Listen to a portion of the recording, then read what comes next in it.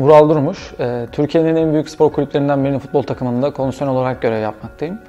Kondisyoner futbol takımı içerisinde sporcuların sezon öncesi, sezon içerisinde ve sezonun bitişine doğru bütün planlamalarını organize eden kişidir. Bütün fiziksel antrenmanların organizasyonu, oyuncuların performans testleri, sakatlık sonrası çalışmaları, sakatlık önleyici çalışmaları bunların tümünü organize eden antrenör kişidir. Futbol takımlarının içerisinde kondisyoner çok ciddi bir göreve sahip. Sağlık ekibi ve teknik kadro arasında köprü görevi gören pozisyonda. Oyuncuların planlamaları yapılırken sağlık ekibinden gelecek referanslar ve teknik ekibin öncelikleri birleştirilerek planlamalar oluşturuyor.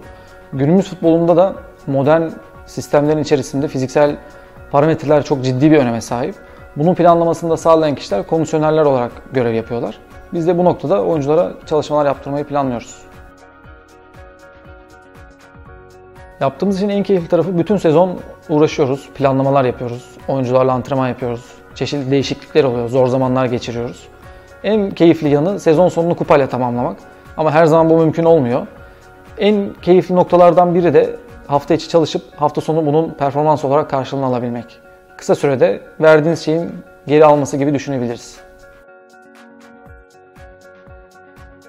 En zor tarafı aslında çok spesifik bir şey söylemek doğru değil ama sonuçta insanlarla çalışıyoruz. Çok göz önünde olan insanlarla çalışıyoruz.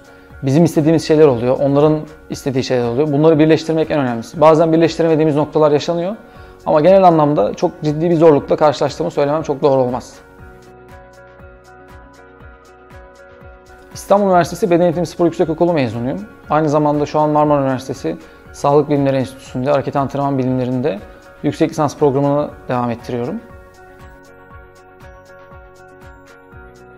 Farklı eğitimlerden bir gelen birinin bu alanda çalışması yani çok uygun olacağını düşünmüyorum. Çünkü bizim yaptığımız işin farklı dinamikleri söz konusu.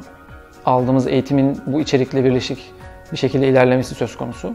Farklı eğitimden gelen kişinin bunları tamamlayıp bu şekilde performans göstermesi bence çok uygun olmaz. Bu işi yapmak için ilk önce çok ciddi bir sabır ve planlama gerektiriyor. Çünkü sonuçta 30 kişiye yakın bir grupla çalışıyorsunuz. Hepsi ayrı karakterde, hepsi farklı şekilde beklentileri var.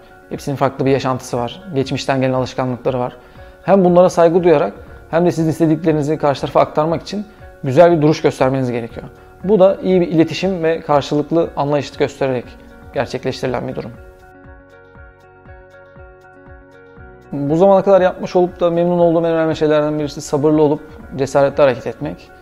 Tavsiye niteliğinde de bir şey ekleyecek olursam daha fazla yabancı dil öğrenmeyi eklerdim.